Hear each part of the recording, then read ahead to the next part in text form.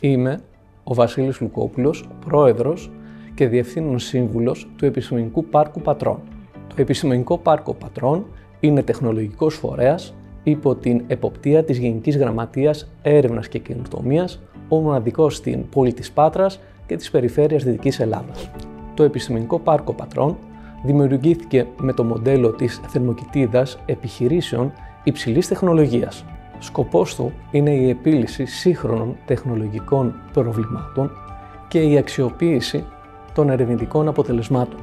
Έως σήμερα έχει επιτελέσει άριστα το σκοπό για τον οποίο ιδρύθηκε.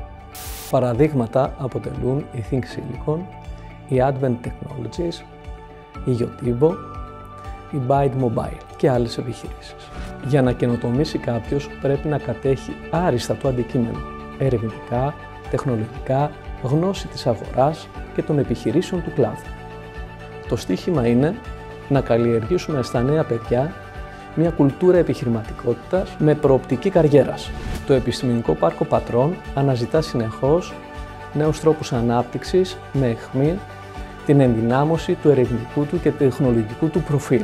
Αυτή την περίοδο στόχος είναι η επέκταση των υποδομών του Επιστημονικού Πάρκου Πατρών έτσι ώστε να μετατραπεί σε ένα επιστημονικό τεχνολογικό πάρκο τέταρτης γενιάς.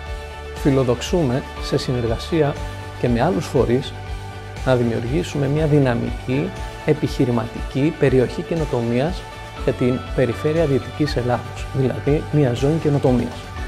Σε συνεργασία με πανεπιστήμια, ερευνητικά Ινστιτούτα, επιχειρήσεις και άλλες ερευνητικές ομάδες χτίσουμε μαζί νέες επιχειρήσεις, startup, spin-off, spin-out